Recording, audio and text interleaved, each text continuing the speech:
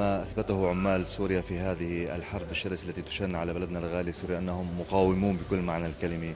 فعمال حلب الذين ثبتوا وقاوموا الإرهاب وثبتوا في مصانعهم ومعاملهم كما عمال في ريف دمشق وفي كل مناطق سوريا ثبتوا في معاملهم ومصانعهم وأدوا واجبهم الوطني فإنهم يستحقون منا كل الاحترام والمحبة في هذه الظروف الصعبة وفي ظل هذه الحرب الكونية التي تشن علينا يقوم عمالنا بواجباتهم في ظروف صعبة وفي ظروف استثنائية. في جميع قطاعات الاقتصادية والإدارية والاجتماعية.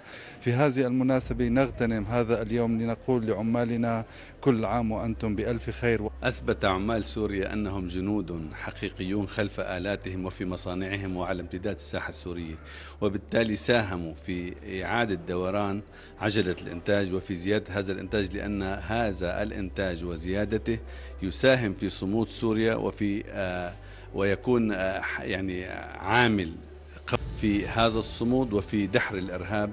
اليوم العمال هم جنود خلف الجيش العربي السوري يد بيد حتى بناء سوريا من جديد وبناء ما تهدم كل عام وعمال سوريا بألف خير.